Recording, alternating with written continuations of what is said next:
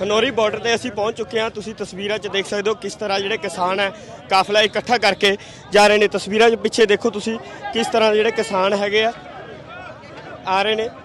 ਕਿਸਾਨਾਂ ਵੱਲੋਂ ਜਿਹੜੀਆਂ ਪੂਰੀਆਂ ਤਿਆਰੀਆਂ ਕਰਕੇ ਅੰਦਰ ਅੱਗੇ ਖਨੌਰੀ ਬਾਰਡਰ ਨੂੰ ਜਾਇਆ ਜਾ ਰਿਹਾ।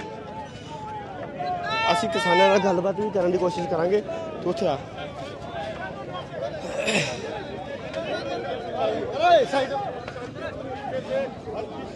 ਅਸੀਂ ਕਿਸਾਨਾਂ ਨਾਲ ਗੱਲਬਾਤ ਵੀ ਕਰਾਂਗੇ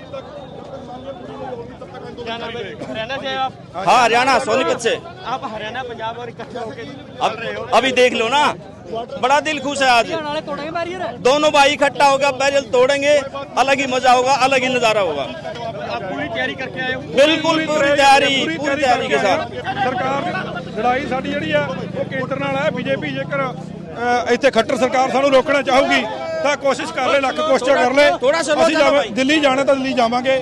ਜੋ ਜੀ ਕਰਦਾ ਜੇ ਖੱਟਰ ਸਰਕਾਰ ਜ਼ੋਰ ਲਾ ਲਵੇ ਇਹੋ ਜਿਹੇ ਬੈਰੀਕੇਡ ਬਹੁਤ ਵਾਰ ਪਹਿਲਾਂ ਵੀ ਲੱਗੇ ਆ। ਅਸੀਂ ਤੋੜ ਕੇ ਦਿੱਲੀ ਵੱਲ ਨੂੰ ਕੂਦ ਜਾਵਾਂਗੇ ਸਖਤੀ ਕੀ ਹੋਈ ਹੈ? ਕਿਉਂਕਿ ਜਿਵੇਂ ਖਨੌਰੀ ਹਰਿਆਣੇ ਦੇ ਨਾਲ ਲੱਗੇ ਨਾਲ ਜਾ ਰਹੇ ਨੇ। ਬਿਲਕੁਲ ਜੀ ਪੰਜਾਬ ਹਰਿਆਣਾ ਇਕੱਠਾ ਸਾਰਾ। ਕਹਾ ਅੱਗੇ ਬਾਰਡਰ ਆ ਰਿਹਾ ਖਨੌਰੀ ਦਾ। ਉਹਦੇ ਵੱਲ ਕੂਚ ਕੀਤਾ ਹੋਇਆ ਬਾਰਡਰ ਤੋੜ ਕੇ ਦਿੱਲੀ ਜਾਵਾਂਗੇ। ਸ਼ੰਭੂ ਦੇ ਉੱਤੇ ਦਾ ਹਾਲਾਤ ਵਿਗੜ ਚੁੱਕੇ ਆ।